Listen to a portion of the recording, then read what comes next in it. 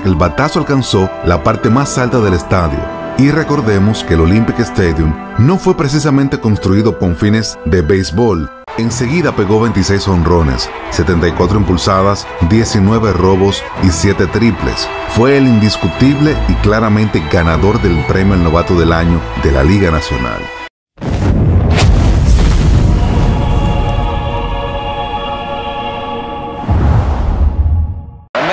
Lost 89 games last year, finished ninth, are three outs away now being the world champion.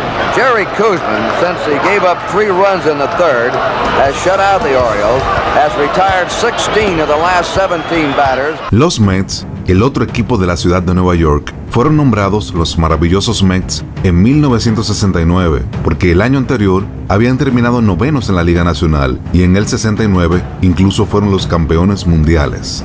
Esa fue la primera vez que los de Queens se coronaban campeones.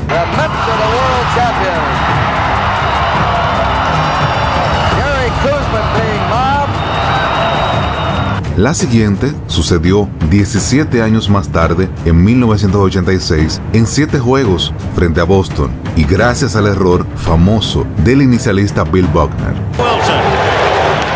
Little roller up along first. Behind the bag.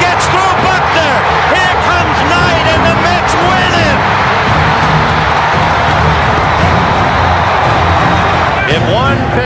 Daryl Strawberry, el protagonista de nuestra historia, fue el primer escogido en la misma primera ronda del draft de 1980 por los Mets. Y parece que no se equivocaron, porque en el año que fue llevado a jugar con el equipo grande, 1983, enseguida pegó 26 honrones, 74 impulsadas, 19 robos y 7 triples. Fue el indiscutible y claramente ganador del premio al novato del año de la Liga Nacional.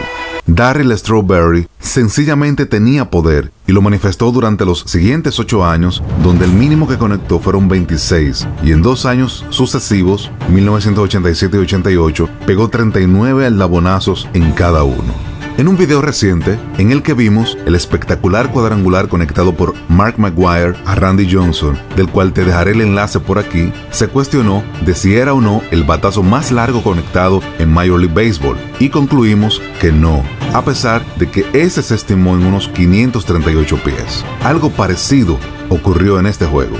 Se enfrentaban los Mets y los Expos de Montreal, hoy Nacionales de Washington, en Canadá y era el juego del Opening Day en la temporada para ambos equipos. Dwight Gooden lanzaba por Nueva York mientras que el nicaragüense Denis Martínez lo hacía por los Expos. Gooden se había convertido en el as de la rotación para el equipo neoyorquino gracias a su actuación brutal de 1985 y Denis Martínez ya era todo un veterano de 34 años y pocos imaginaban que lanzaría hasta sus casi 45 años. El momento del turno fue el séptimo episodio. Los Mets a esa altura ganaban el juego 7 por 4 y ya Daryl Strawberry se la había sacado Denis Martínez en su primer turno del juego, abriendo el segundo inning y en cuenta de 1 y 2 por todo el jardín central.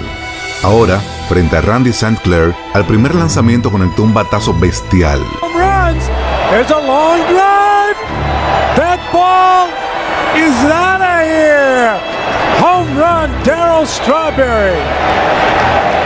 Fue tan impresionante la altura y la distancia del batazo que en el tono de voz del narrador pueden apreciarse dos cosas. Primero, cierta confusión por causa de las luces de los postes y la gran altura del batazo. Luego expresa que el batazo alcanzó la parte más alta del estadio. Y recordemos que el Olympic Stadium no fue precisamente construido con fines de béisbol, sino como un multiusos para la celebración de los Juegos Olímpicos de 1976 y su capacidad era de casi 70.000 personas.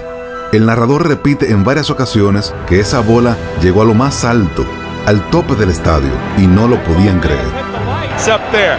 It may have hit the top of the stadium. I think it did.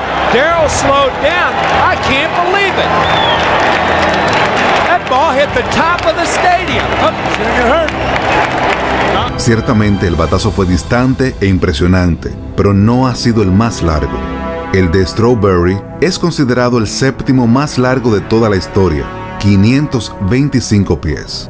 Strawberry no está en Cooperstown, pero siempre será recordado, aparte de sus problemas fuera del terreno, por su poder espectacular. Te invito a que te suscribas, comentes en la caja de los comentarios y compartas este video con tus amigos. Is that a here? Home run, Daryl Strawberry.